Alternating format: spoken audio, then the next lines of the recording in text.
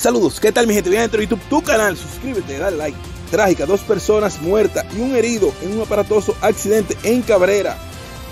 Se registró la noche de ayer miércoles un accidente de tránsito en el tramo carretero Nagua Cabrera, a la altura del cruce de Payita.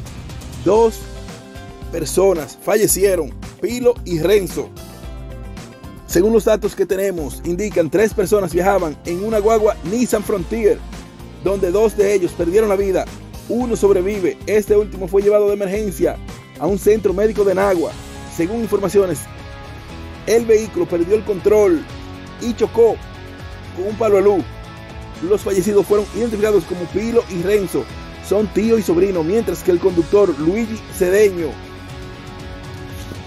sobrevivió. Los tres de la comunidad de Colorado Caño Azul.